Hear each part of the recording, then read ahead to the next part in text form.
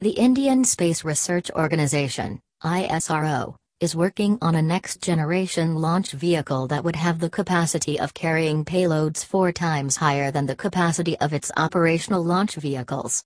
The Indian government confirmed the development on Wednesday. India has a launch vehicle system with a capability to put 4 ton class of satellites to GTO, whereby meeting all the national requirements.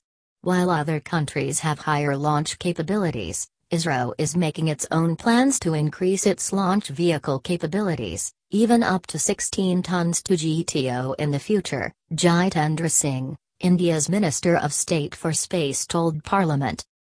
Presently, India has three launch vehicles, namely, Polar Satellite Launch Vehicle, PSLV, with a launch capability of 1.75 tons to 600 kilometers Sun Synchronous Polar Orbit, Geosynchronous Satellite Launch Vehicle, GSLV, with a launch capability of 2.2 tons to Geosynchronous Transfer Orbit, GTO, and Geosynchronous Satellite Launch Vehicle, Mark III with a launch capability of 4 tons to the Geosynchronous Transfer Orbit, GTO.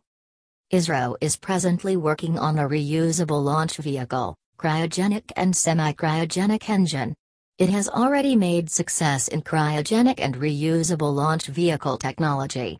ISRO has already started work on technology development of super heavy lift vehicle. So, it is feasible but how much time it will take cannot be predicted as of now, Ajey Lele, a senior fellow at Delhi-based Institute of Defense Studies and Analyses told Sputnik.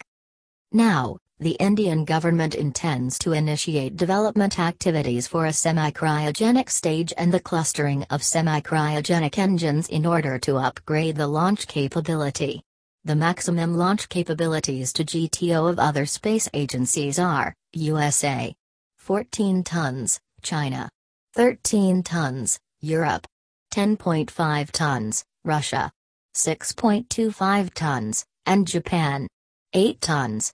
Recently, U.S. private firm SpaceX has demonstrated the launch of a heavy lift launch vehicle, Falcon Heavy, which can carry 26.7 tons to GTO.